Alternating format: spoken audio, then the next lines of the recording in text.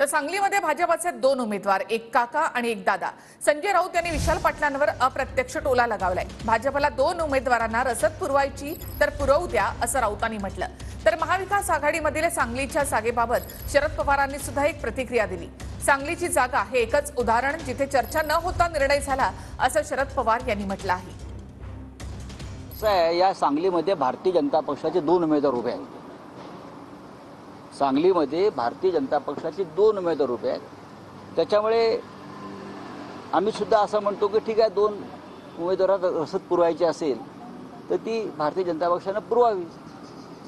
एक काका आहेत एक दादा आहेत. काका आणि दादांच्या प्रचारासाठी काल योगी आले उद्या भोगी येणार आहेत. येऊ द्या ना.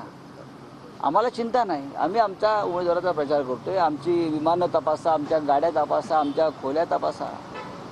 काही हरकत नाही. चांगली भागात चांगली एकच उदाहरण असं आहे की जिथं आमच्या चर्चा न होता निर्णय चर्चा झाली. म्हणजे आम्ही एकदम संध्याकाळी टी व्हीवरच पाहिजे की उमेदवार आहे.